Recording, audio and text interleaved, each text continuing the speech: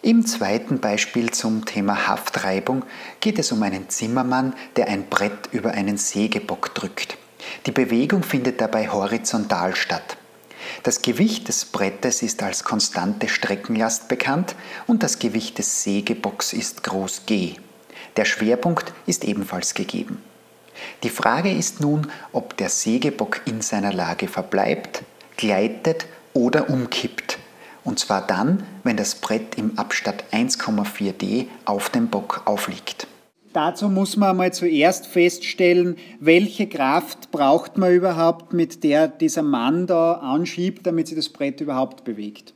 Das ist einmal die Voraussetzung dafür, dass überhaupt ähm, eine Bewegung beginnt, äh, nämlich unter Berücksichtigung dieses Reibkoeffizienten da zwischen Oberteil, Sägebock, Auflage und Brett. Dazu schauen wir uns das Brett alleine an im Freikörperbild. Wenn man nur das Brett anschaut, was hat man hier? Naja, wir haben eine Kraft in Horizontalrichtung, in unserem üblichen XYZ-System, vom Mann auf das Brett und eine Komponente, mit der er das Brett halt in der Höhe hält, dass es nicht runterrutscht, dass waagrecht nach vorgeschoben wird. Die interessiert uns zwar an sich als Zahlenwert nicht, aber die muss man natürlich ins Freikörperbild reinzeichnen. Dann äh, gibt es irgendwo eine Gewichtskraft für das Brett, nämlich bei L halbe sinnvollerweise. Und an der Stelle D liegt es auf, auf dem Bock. Da haben wir also eine Normalkraft einerseits und von der Reibung eine Reibkraft F, nennen wir es einfach F. Das hier ist 1,4D und die Gewichtskraft ist an der Position L halbe. Das ist eigentlich fürs Brett alles, was man braucht. Den Bock haben wir weggenommen, den Maun haben wir auch weggestellt. Ähm, deswegen die Kräfte. So, wie groß ist die Gewichtskraft? Wir haben die Länge pro, äh, die Kraft pro Länge Q gegeben für das Brett. Vom Sägebock haben wir direkt die Gewichtskraft gegeben, fürs Brett ist also Länge mal Q. Das sind 270 Newton. Jetzt ist die Frage, wie groß ist die Normalkraft? Wenn man die Normalkraft wissen will, machen wir einen Moment, das ist sinnvoll, äh, legen den Drehpunkt da in B rein, wo der Mann angreift, dann geht auch diese Reibkraft F mit der Wirkungslinie durch, fällt also genauso weg und man hat nur mehr Gewichtskraft und Normalkraft drinnen und kann die Normalkraft direkt ausrechnen. Also in Kurzschreibweise jetzt vielleicht positiv die Drehrichtung so und um den Punkt P, so kann man die Momentenbilanz auch hinschreiben, ganz kurz, liefert dann minus g mal L halbe von der Gewichtskraft und n mal 1,4 d aus der Normalkraft. Und daraus folgt sofort das n. Das ist nämlich g mal L halbe mal 1 durch 1,4d beziehungsweise als Zahlenwert 173,6 Newton. So, zu dem Zeitpunkt natürlich. Also wir schauen uns nur den Zeitpunkt an, der da gefordert ist. Alles andere geht nicht wirklich, weil dann ändert sich ja die Normalkraft wieder. Es geht nur darum, was zu dem gezeichneten Zeitpunkt geometrisch gezeichnet passiert. So, wie schaffen wir es, dass das Brett am Sägebock gleitet?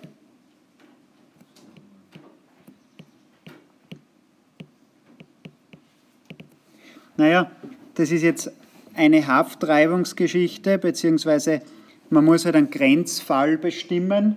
Man sollte in der Regel ein bisschen vorsichtig sein bei Haftreibung mit Gleichungen und mit Grenzfällen.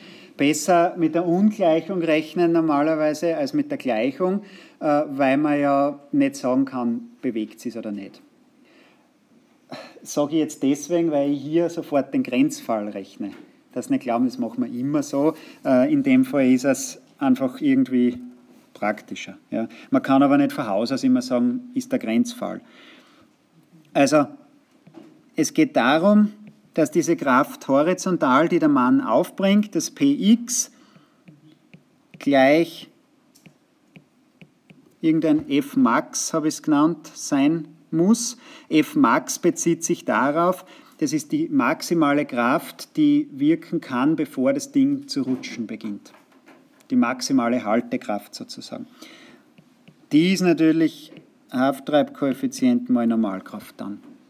Beziehungsweise das Px, so könnte man sauberer hinschreiben, muss größer gleich μ mal n sein, dass man das Gleiten eintritt. Oder kleiner gleich μ mal n, dass man den Haftfall hat. So würde man es sauberer rechnen. Äh, das heißt, unser Px, wenn man das so ausrechnet, n kennen wir ja jetzt und μ ist gegeben mit 0,5, ist 86,8 Newton. Das muss er mindestens aufbringen, damit es äh, ein Gleiten des Brettes gibt. Und mit der Kenntnis kann man jetzt den Sägebock freimachen und kann sich überlegen, was ist bei Gleiten, was ist bei Kippen. Also Gleiten des Bockes schauen wir uns einmal an. Am Boden, wo man natürlich einen anderen Hafttreibkoeffizienten hat als oben. Und das irgendwie so übertrieben her. Wir haben da die Normalkraft N, die drauf wirkt. Wir haben die Gewichtskraft des Bockes selbst, das ist so gegeben. Wir haben kombiniert auf alle, wie ja der immer ausschaut, auf alle Füße äh, die gesamte Gewicht, äh, Normalkraft NG, die da dagegen wirkt. Das kann man natürlich so vereinfachen indem man quasi einfach als Punktmasse annimmt den Bock. Und wir haben hier ein F, weiß ich nicht, nennen wir es FH oder so. Ja, nennen wir es F, ich habe es da auch F genannt, oben hat es auch F, ist wurscht. Ja, ähm, dann muss man natürlich wieder das NG ausrechnen, die Normalkraft Bock und, zwischen Bock und Boden. Da ist positiv nach oben noch. Also NG minus G minus das N vom Brett von oben muss 0 sein. Also ist unser NG G plus N beziehungsweise 249 Newton, wenn man es auf ganze Newton rundet. Und dieses Px für Gleiten, das jetzt mit dem obigen Px, das er tatsächlich aufbringen muss, zu vergleichen ist, das entspricht dann natürlich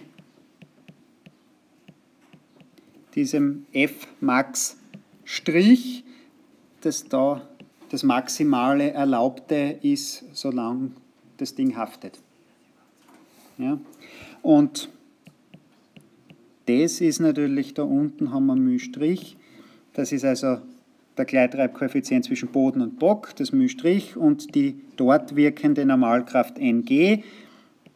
Und da kommt 75 Newton raus als äh, Grenzwert. Das heißt, was stellt man fest? Damit das Brett überhaupt gleitet oben, braucht er äh, mindestens 86,8 Newton, mit denen er anschiebt damit der Bock am Boden gleitet, braucht man mindestens 75 Newton. Das heißt, wenn er gerne hätte, dass das Brett oben rutscht, dann wird der Bock auch rutschen. Also wir haben auf jeden Fall zumindest Gleiten. Jetzt ist nur noch die Frage, passiert Kippen vorher oder nach Gleiten? Das müsste man noch abklären. Also stehen tut der Bock auf jeden Fall mal nicht. Der steht auf einer sehr ungünstigen Unterlage, anders gesagt. Also mindestens Gleiten tritt auf. Jetzt schauen wir, ja, was passiert, was ist eigentlich Kippen? Kippen, so etwas ähnliches haben wir schon mal gehabt bei diesem Bagger, äh, bei dem Kran, der die Last hochgehoben hat. Da muss man ja wieder eine Annahme treffen, wann der Bock kippt. Zeichnen wir her. Da ist das B breit, Das heißt, hier haben wir b halbe. Naja, wann kippt er? Wenn an den Hinterbeinen keine Normalkraft mehr wirkt. Dann fangen die Hinterbeine vom Boden abzuheben an. Das heißt, die Normalkraft wirkt nur mehr vorne, rechts.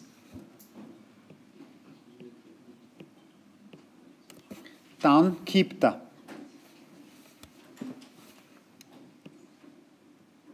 Da haben wir nach wie vor die Gewichtskraft im Schwerpunkt. Wir haben nach wie vor die Normalkraft vom Brett. Und wir haben jetzt hier ein Px, mit dem der Mann anschiebt. Und die Höhe ist h. Das heißt, wir können wieder Gleichgewicht machen und schauen, wann kippt es. Bei welchem Px beginnt das System zu kippen.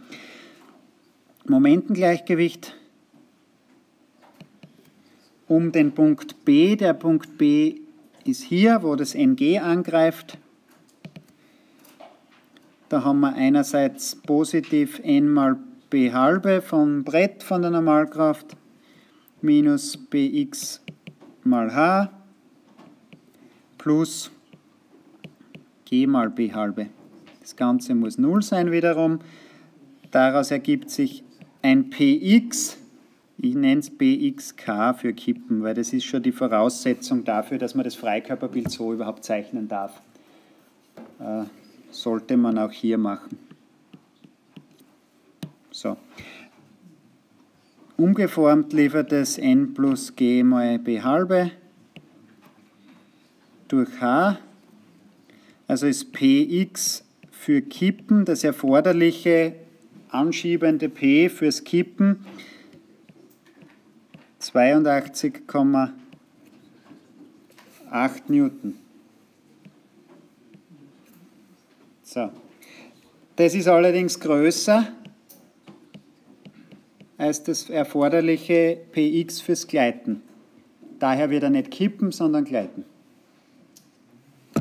Das ist der Überlegungsweg bei dem Beispiel.